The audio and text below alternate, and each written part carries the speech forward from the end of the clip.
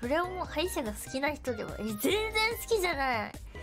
いや、できることならあんまり行きたくないけど、でも半年に一回ぐらいはクリーニング行ってるけど、あの、ね磨いてもらったり、歯石やら検査やら、なんか半年に一回でいいらしいから行ってるけど、ねなんか、あんまり好きじゃないですね。できることなら行きたくないです。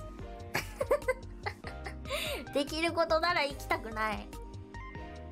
そう、でもさ、歯ってさ、一生ものっていうかなんていうの？なかなかさ、ボロボロになっちゃうと後、後が効かないじゃん。だから、気をつけようとは思ってるけどさ、ねなかなかできることなら行きたくないです。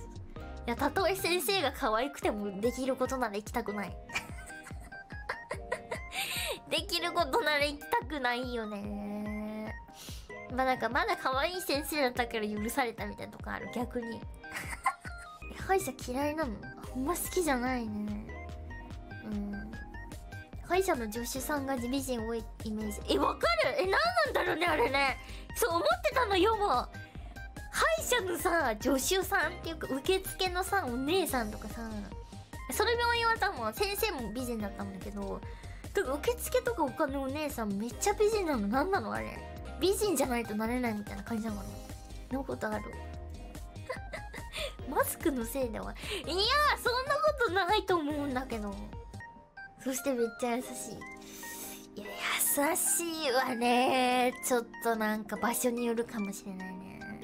歯も気使えるなら、見た目も気使って美人にしてま、美人っていうか小綺麗にしてますみたいな方が、やっぱ多いのかな。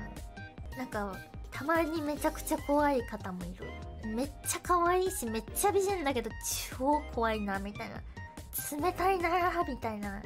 たまにある。うん。そういう女性お嬢好きじゃないいや、違うんだよね。そういうことじゃない。いや、なんかね。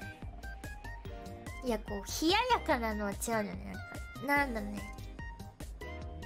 なんか違う。そう、それのはちょっと違う。ちょっとなんか難しいんですけど。いや、ちょっと違うんですよね。うん。おじクール美人好き。いや、ちょっとクール美人、いや、ちょっと違うんですよ。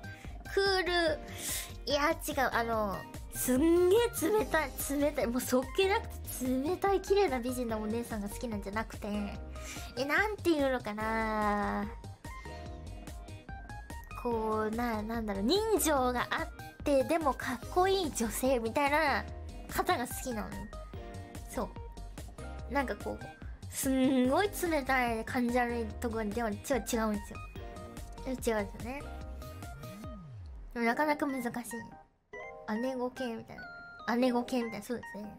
お、姉さんって感じ。姉さん。姉さんとちちょっとちょっと違うんだよな。でも難しいですね。